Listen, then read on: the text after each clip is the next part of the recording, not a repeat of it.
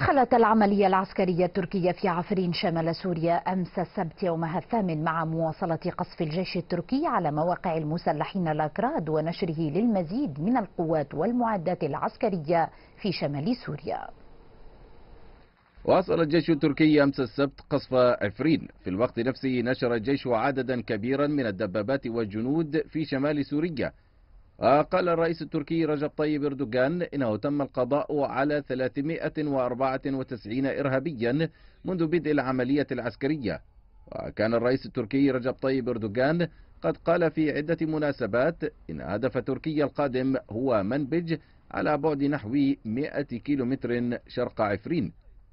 وإن العمليات العسكرية المستقبلية ستكون في الشرق وستمتد حتى المناطق الحدودية العراقية وستظل مستمرة إلى أن يتم القضاء تماما على القوات الكردية شمال سوريا.